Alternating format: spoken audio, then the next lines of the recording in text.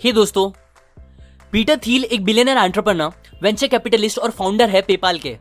उन्होंने स्टार्टअप्स और बिज़नेस के ऊपर एक लेक्चर लिया था स्टैनफोर्ड यूनिवर्सिटी में. उस लेक्चर में उन्होंने स्टूडेंट्स को कुछ प्रिंसिपल्स बताए थे, जिससे वो स्टूडेंट्स भी उनकी तरह एक बिलियन डॉलर बिज़नेस बना सकते हैं और वो भी हमारे वर्ल्ड को बेटर और इंप्रूव करके. ब्लेक मास्टर्स नाम के एक स्टूडेंट ने इस लेक्चर की एक डिटेल्ड नोट्स बना ली थी.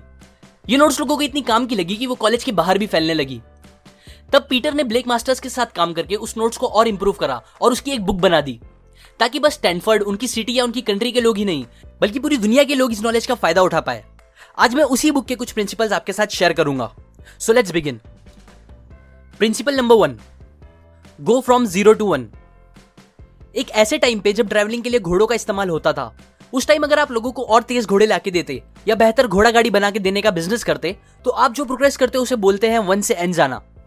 लेकिन अगर आप घोड़ा गाड़ी के बजाय लोगों को एक नया तरीका दे देते ट्रैवलिंग का, एक कार बना के, जैसे हेनरी फोर्ड ने किया तो उस प्रोग्रेस को कहते हैं ज़ीरो टू वन जाना। अगर आपको सक्सेसफुल बनना है तो कुछ नया करो और ज़ीरो टू वन जाओ, जिसे वर्टिकल प्रोग्रेस भी बोलते हैं। कुछ ऐसा करो जो पहले कभी नहीं हुआ हो। क्योंकि अगर आप जो चीज़ पहले से बनी हुई है, बस उसे ही कॉपी कर रहे हो, अपने थोड़े बहुत चेंजेस लगा के तो आप वन से एन जा रहे हो, जिसे हॉरिजॉन्टल प्रोग्रेस भी कहते हैं। लेकिन ये करने से आपको सक्सेस मिलने के चांस बहुत कम हो जाते हैं। गलती से आपको थोड़ी सक्सेस मिल भी जाएगी तो भी वो बहुत बड़ी नहीं होगी और ज़्यादा टाइम तक भी नहीं टिकेगी। बिज़नेस वर्ल्ड में हर बड़ा इवेंट बस एक बार होता है। दुनिया का अगला बिलगेट्स ऑपरेटिंग सिस्टम नहीं बनाएगा। अगला मार्क जकबर्ग एक सोशल नेटवर्क नहीं क्रिएट करेगा। और अगला लैरी पेज एक सर्च इंजन नहीं बनाएगा। अगर आप इनके प्रोडक्ट को कॉपी कर रहे हो तो आप इनसे सीख रहे ही नहीं हो। क्योंकि इन लोगों को ह्यूज सक्सेस मिली जब वो ज़ीरो से वन गए। पर अगर आप इन्हें एग्जैक्टली कॉपी करने का ट्राई करोगे तो आप बस वन से एन जा पाओगे, जो कि बेस्ट ऑप्शन बिल्कुल नहीं है। Principle number two become a monopoly avoid competition हम ऐसी सोसाइटी में रहते हैं जहाँ कॉम्पिटिशन को बहुत एनकरेजमेंट मिलता है। हमारा एजुकेशन सिस्टम बच्चों को बचपन से ही कम्पीट करना सिखाता है। पहले वो मार्क्स के लिए एक दूसरे से कम्पीट करते हैं, फिर जॉब के लिए, फिर कोई नहीं मिलता तो अपने नेबर्स के साथ ही कम्पीट करने लगते हैं। पड़ोसी से ज़्यादा अच्छी कार रखना, उससे बड़ी टीवी रखना, ये सब स्टूपिड चीज़ें कॉम्पिटिशन बन जाती है। पर सच तो यह है कि कॉम्पिटिशन आपको मोस्टली हर चीज़ के लिए लॉस ही देगा। एजुकेशन सिस्टम और दूसरी चीज़ों के लिए कभी और बात करेंगे। बिज़नेस में भी कंपटीशन जहर जैसा होता है। पीटर बताते हैं कि कंपटीशन और कैपिटलिज्म अपोजिट है। एक प्रॉफिट जनरेट करने से रिलेटेड है, जबकि दूसरा प्रॉफिट को खत्म करने से रिलेटेड है। आपके बिज़नेस मार्केट में जितना ज़्यादा कंपटीशन होगा, उतना कम आप प्रॉफिट कमा पाओगे। फिर चाहे आपका बिज़नेस कितना भी बड़ा क्यों ना हो। एग्ज़ाम्पल यूएस की एयरलाइन कंपनीज़ करोड़ों और अरबों में पैसे बनाती है।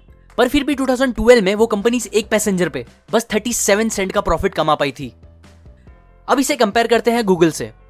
गूगल ने उसी साल टोटल 50 बिलियन बनाए थे, जबकि एयरलाइंस ने 160 बिलियन लेकिन गूगल ने उस 50 बिलियन में से 21 परसेंट का प्रॉफिट बनाया था, जो कि एयरलाइन कंपनीज़ के प्रॉफिट से 100 गुना ज़्यादा था। ऐसा इसीलिए हुआ क्योंकि एयरलाइन कंपनीज़ एक दूसरे से कम्पीट करने के चक्कर में अपने टिकट के दाम कम कर रही थी।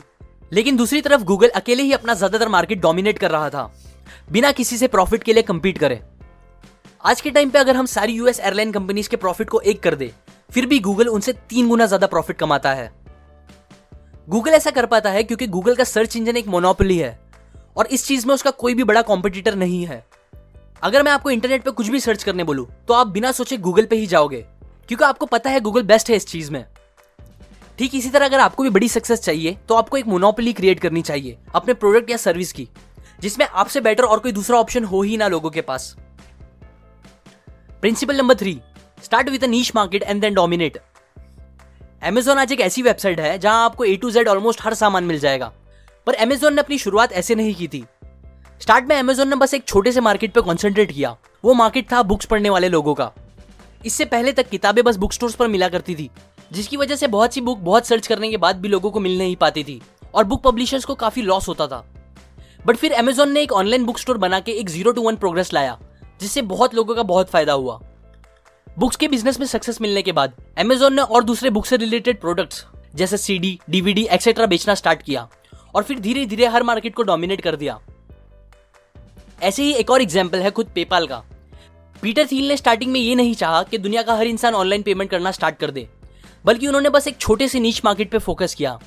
ये मार्केट था ईबे के यूज़र्स का, जिन्हें हर दिन चीज़ों को खरीदने और बेचने के लिए चेक्स का यूज़ करना पड़ता था। पीटर ने उन्हें एक ऑनलाइन सोल्यूशन दिया पेपाल के फॉर्म में। जिससे वो लोग इजीली एक दूसरे को पैसे ट्रांसफ़र कर पाते थे। और वो पैसे उन्हें फ़ौरन मिल जाते थे, ना कि चेक्स की तरह, जहाँ उन्हें काफ़ी वेट करना पड़ता था पैसे मिलने के लिए। ईबे का छोटा सा मार्केट डोमिनेट करने के बाद पेपाल ने धीरे धीरे नॉर्मल लोगों को भी ऑनलाइन पेमेंट का इजी तरीका दिखाया, जिसके बाद पेपाल एक बिलियन डॉलर कंपनी बन गई। इसी तरह अगर आपको भी अपने बिज़नेस को एक बड़ा सक्सेस बनाना है तो पहले एक छोटे से नीच मार्केट से स्टार्ट करो। छोटे से ग्रुप के लोगों की कोई एक बड़ी प्रॉब्लम सॉल्व करो जिसपे कोई ध्यान नहीं दे रहा है। और जहाँ बहुत कम या फिर कंपटीशन हो ही ना आपके लिए। पहले वहाँ एकदम अच्छी सर्विस दो और फिर उसके बाद धीरे धीरे एक्सपांड करके रिलेटेड मार्केट को डोमिनेट करो। ये बात याद रखो कि एक बड़े से तालाब में एक छोटी सी मछली, जिसे दूसरी बड़ी मछलियाँ कभी भी खा के आराम से खत्म कर दे, वो बनने से बेटर है कि पहले आप एक छोटे से तालाब की एक बड़ी मछली बनो और फिर उसके बाद बड़े तालाब में जाओ। जब आप ये सारी बातें याद रख के बिज़नेस स्टार्ट करोगे तो आपके सक्सेस होने के चांस बहुत ज़्यादा बढ़ जाएँगे। ये कुछ प्रिंसिपल्स मैंने आपको zero to one by Peter Thiel book से बताई है। अगर आपको बिज़नेस या स्टार्टअप इन वर्ड्स में थोड़ा भी इंटरेस्ट है तो आपको ये बुक डेफिनेटली पढ़नी चाहिए। इसमें बहुत सी वैल्यूबल चीज़ें हैं जो आपको नेक्स्ट बिलियनर कंपनी कैसे बनाना है, ये बात सिखा सकती है। नीचे दिए गए डिस्क्रिप्शन लिंक में जाके आप ये बुक खरीद सकते हो। अगर आप मेरे वीडियोस कभी मिस नहीं करना चाहते हो तो आप सेटिंग में जाके अपने नोटिफिकेशन ऑन कर दे। और फिर मेरे चैनल के होम पे जाके उधर बने बेल पे क्लिक कर दे। इससे आपको जब भी मैं एक न्यू वीडियो अपलोड करूँगा, उसका नोटिफिकेशन आ जाएगा। लाइक करें अगर आपको ये प्रिंसिपल काम के लगे। अपनी व्यूज़ कमेंट करें। शेयर करें इस वीडियो को उनके साथ जिन्हें बिज़नेस में इंटरेस्ट हो। सब्सक्राइब करें मैं और ऐसी काम की बातें आपके साथ शेयर करता रहूँगा usually her weekend finally thanks for watching